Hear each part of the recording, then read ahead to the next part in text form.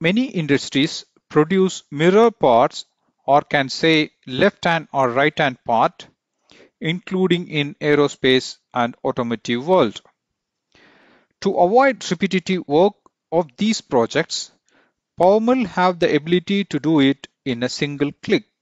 This option mirror all the entities including toolpath, boundaries, pattern, feature set and also even the 3D model. This reduce greatly of the programming time.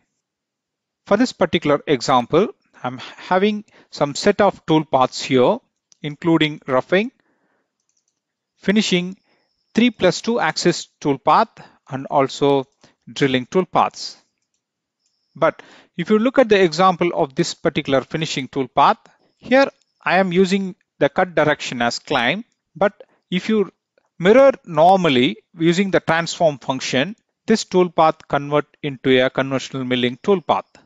So to avoid this, we can use the mirror project option, which is available in the home ribbon toolbar.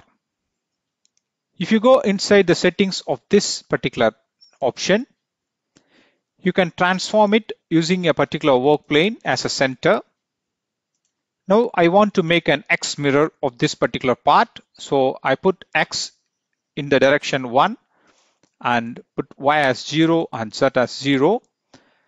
And I make the checkbox on to optimize the toolpath and need to calculate after mirror. Now press the transform button here. The PowerMill automatically transform all the datas into X mirror including toolpath, model, feature set and stock model and recalculate all those toolpath with the same cut direction. Now you can able to see these all those entities has been mirrored as X direction and it is highlighting the information of this completion of process. Now this part is completely mirrored and recalculated the toolpath with the same cut direction.